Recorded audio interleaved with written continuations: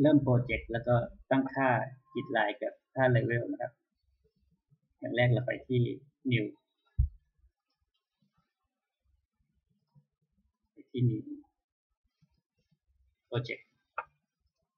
เลือก default metric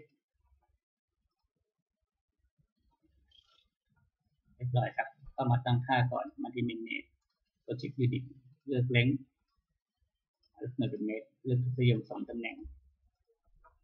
ครับได้พื้นที่ใช้งานนะครับขั้นตอนแรกไปที่เต็กเลือกจิตลายเต็กเป็นหนึ่งทีครับ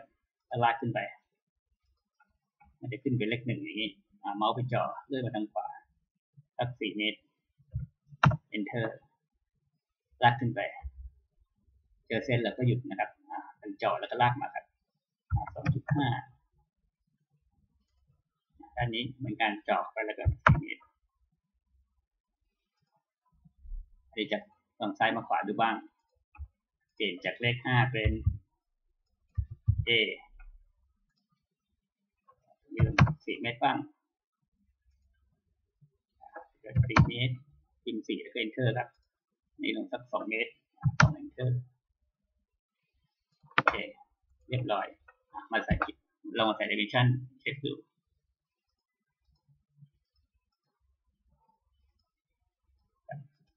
ฝั่ง นี้บ้าง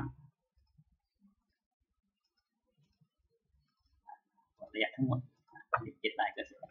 อันนี้ความหมายของจิตลายก็จะประมาณนี้ ถ้าเราต้องการให้สัญลักษณ์อยู่ข้างล่างแล้วก็ติ๊กที่เส้น มันจะเกิดเส้นสี่เหลี่ยม ถ้าเราติ๊กนั่นสี่เหลี่ยมว่างๆมันก็จะขึ้นมาให้ ถ้าเราไม่ต้องการก็ปิดนะครับ ต้องการจะยืดแล้วก็ติ๊กเส้นปุ๊บกลมๆตรงนี้ยืดมันออก มันก็จะยืดทั้งหมดลิงทั้งหมดติ๊กนะครับกลมๆก็ยืดออกได้โอเคนะครับ ต่อไปเป็นเลเวลไปดูที่เลเวลเลเวลก็จะอยู่ที่ทางทิศนะไปที่ทิศเหนือ เราต้องการทำให้เป็นสักชั้นเดียวพอด้านนี้ด้านชั้นสองจะเอาลงมาให้อยู่ที่ระดับ 50เซนเราติ๊กที่ตรงค่าระดับได้เลยจุดห้ามันก็จะลงมานะครับหรืออีกในหนึ่งถ้าเราขึ้นชั้นสามโดยการใช้คำสั่งเลเวลก็เอาเลเวลมาจอนะครับแล้วยกขึ้นไปสมมติสามเมตรก็สามเ enter แล้วก็ลากไปทางด้านขวา เมื่อเขาอยู่ระดับเดียวกันเขาก็จะขึ้นมาให้นะครับ เรียบร้อย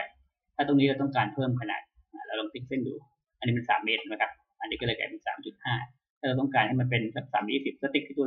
ตัวตัวเลขเลยสามที่สอง enter ครับ ค่าระดับก็จะเปลี่ยนไป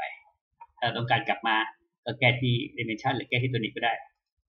เป็นสามเมตรก็กดสามจุดห้า enter เขาก็จะแก้ค่าระดับให้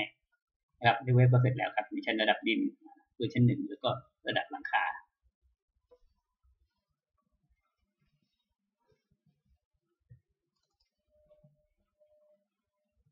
ถ้าเราต้องการจะปรับแก้ dimension นี้นะครับ แก้แก้ตัวจิตลายสมมติตัวนี้เป็นสี่เมตรห้าสิบก็ติ๊กที่เส้น แล้วก็เปลี่ยนที่ตัวเลขเลยสี่จุดห้าเขาก็จะย้ายให้นะอันนี้เป็นสี่จุดห้าแต่ติ๊กที่เส้นติ๊กตัวเลขสี่จุดห้าก็เปลี่ยนให้นะครับจะกลับมาใหม่ก็ติ๊กที่เส้นแล้วก็กลับมาทำเหมือนกันหมดทั้งสองด้านท่านี้ครับ